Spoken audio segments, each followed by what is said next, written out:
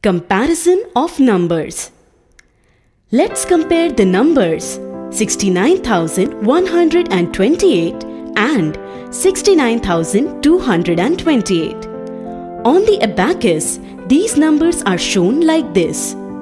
In both the abacus, you can see 8 ones, 2 tens, 9 thousands and 6 ten thousands.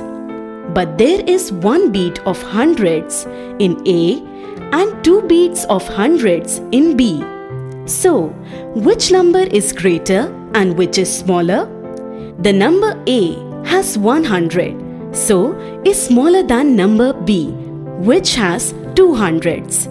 So, 69,128 is less than 69,228.